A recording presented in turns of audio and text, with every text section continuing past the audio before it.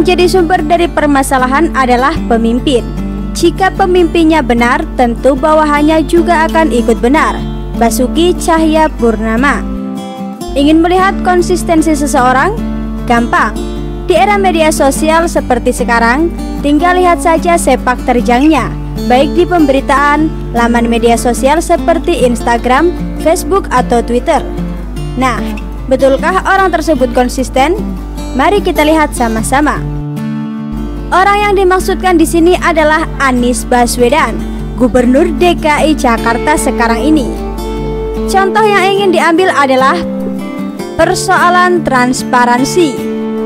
Pada Desember 2016 lalu, ketika ia mencalonkan diri sebagai Gubernur DKI berpasangan dengan Sandiaga Uno, Anies menekankan pentingnya transparansi, khususnya penyusunan anggaran.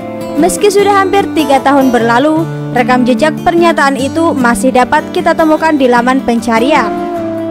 Berikut kutipannya. Menurut Anies, transparansi jadi kunci pemerintahan yang bersih. Dituliskan di sana bahwa calon gubernur DKI Anies Baswedan akan fokus mewujudkan pemerintahan yang bersih bila terpilih kelak. Dia menjanjikan akan melakukan transparansi anggaran pada masyarakat Transparansi akan menjadi kata kunci dalam pengelolaan pemerintah ke depan. Ujar Anies saat berada di rumah Jenderal Purnawirawan Joko Susanto di Jalan Bambu Apus, Cipayung, Jakarta Timur pada 8 Desember 2016. Anies akan membuat aplikasi yang dapat dengan mudah diakses warga. Hal ini sebagai usahanya menunjukkan transparansi mengenai anggaran. Kemudian, poin penting lainnya adalah janji komitmen Anies terkait pemberantasan korupsi. Masih dalam berita yang sama, Anies memberikan pernyataan dan kita ingin kita punya komitmen pada persoalan pemberantasan korupsi. Bukan statement tapi langkah. Dan kita akan pastikan Jakarta ke depan, Jakarta yang transparan, yang bersih dan berpihak kepada kepentingan publik. Transparan bila tidak berpihak pada kepentingan publik maka tidak berintegritas. Begitu katanya hampir tiga tahun lalu. Waktu berlalu, musim berganti. Bagaimana dengan Anies setelah menjabat sebagai gubernur DKI? Bagaimana pula dengan kasus yang akhir-akhir ini mencuat terkait barbarnya penyusunan rencana anggaran Pemprov DKI Jakarta? Untung ada anak-anak muda PSI yang sekarang duduk di kursi DPRD DKI Merekalah yang menemukan anggaran-anggaran jeleneh Mulai dari anggaran 82 miliar rupiah untuk pengadaan lem Aibon Lalu PSI juga menemukan anggaran pengadaan ballpoint sebesar 124 miliar di suku dinas pendidikan wilayah 1 Jakarta Timur Selain itu, anggaran 121 miliar juga ditemukan untuk pengadaan 7.313 unit komputer di Dinas Pendidikan. Lalu, ada beberapa unit server dan storage dianggarkan senilai 66 miliar rupiah oleh Dinas Komunikasi, Informatika, dan Statistik.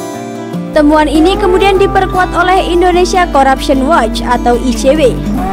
ICW menemukan draft anggaran pengadaan lem Aibon di Pemprov DKI tak hanya sebesar 82 miliar rupiah, Draft yang didapat dari berbagai sumber ini tertulis anggaran pengadaan lem Aibon mencapai 126 miliar rupiah. Lem Aibon tidak hanya 82 miliar rupiah, itu hanya satu item pengadaan. Tapi kami temukan ada 126,225 miliar rupiah dalam 15 pengadaan. Kata peneliti ICW, Almas Safrina di kantornya Kalibata, Jakarta Selatan pada Senin lalu.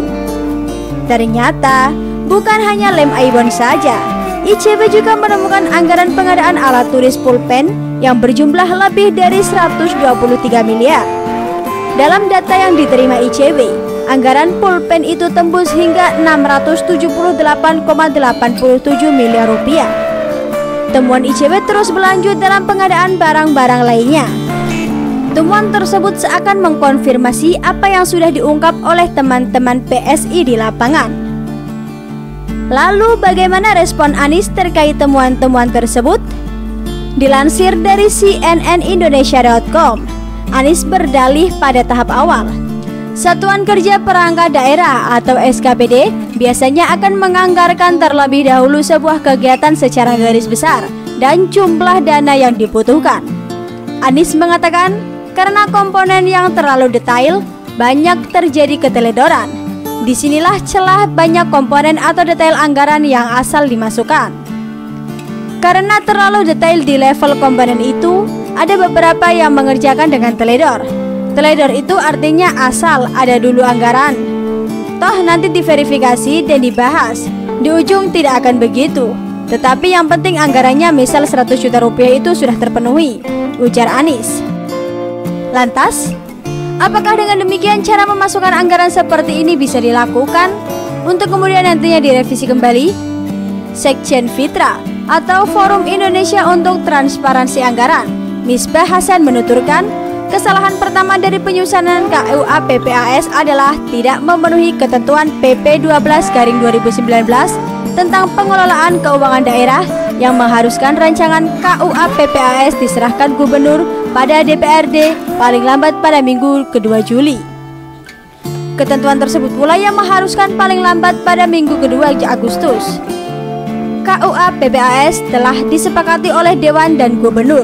Artinya, Proses pembahasan KUA PPAS DKI yang masih berlangsung sekarang ini telah melanggar aturan main dalam PP 12 garing 2019. Sedangkan kesalahan kedua, lanjut Misbah, mengenai transparansi. DKI tidak memudahkan akses masyarakat untuk turut memantau anggaran. Hal ini mengundang kecurigaan yang besar bagi publik. Jika sejak awal transparansi diterapkan, setidaknya ke depan tidak ada kegaduhan. Harusnya masyarakat diberi ruang menyisir anggaran-anggaran yang dianggap janggal. Karena itu tugasnya masyarakat. Tugas wakil rakyat juga bebernya. Nah, jadi jelas highlightnya adalah tidak adanya transparansi. Yang menarik adalah ulasan dari situs berita kontan.co.id yang membandingkan transparansi anggaran di zaman Jokowi, Ahok, dan Jarod dengan zaman Anies.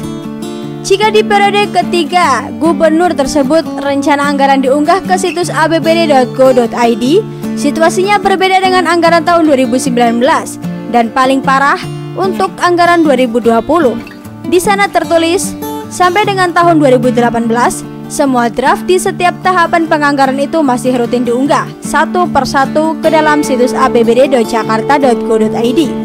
Situasinya mulai berbeda untuk anggaran tahun 2019. Dalam situs yang diakses pada Rabu 30 Oktober malam, draft yang diinput ke dalam situs adalah RKPD KUA PPAS hasil pembahasan bersama DPRD DKI, APBD, dan APBD Perubahan. Tak ada draft KUA PPAS versi sebelum pembahasan DPRD DKI Jakarta. Rencana penganggaran anggaran untuk 2020 lebih parah lagi. Tidak ada satupun rencana anggaran untuk tahun 2020 yang diunggah ke dalam situs tersebut. Padahal, saat ini Pemprov dan DPRD DKI Jakarta sedang melakukan pembahasan KUA PPAS. Ya, dengan fakta-fakta yang semakin mencuat ini apalagi alasan Anies? Saya jadi teringat kata-kata John Maxwell. Seorang pemimpin adalah orang yang mengetahui jalan, melewati jalan tersebut, dan menunjukkan jalan itu untuk orang lain.